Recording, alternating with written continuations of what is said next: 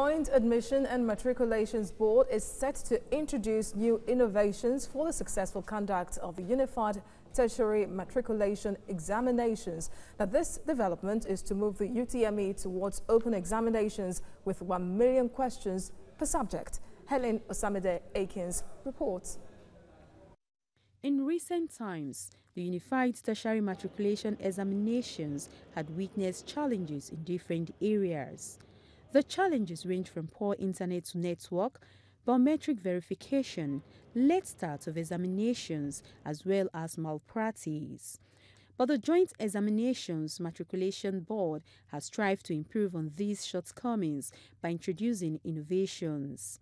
This year, the board is introducing yet another innovation, a new system which it says will enable the board to conduct flawless examinations and curb malpractices no discretion about it. Anybody who has who cannot be verified on the biometric cannot write our exam.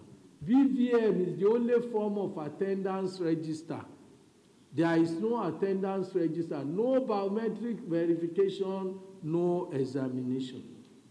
Discretion is not allowed in this matter and there is crying and the father is a professor and the mother is a nurse. That's not part of it. Too. We now created what we call IBAS, Integrated Brochure and uh, Syllabus Scheme. This IBAS does so many things.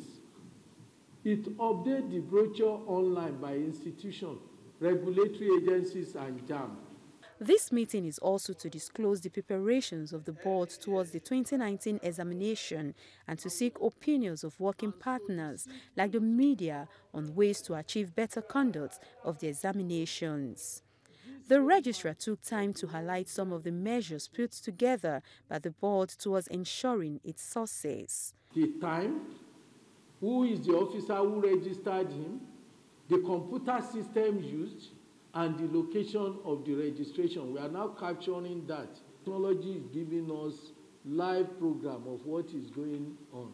With the level of preparations put in place so far, it is expected that the examinations will be hitch-free.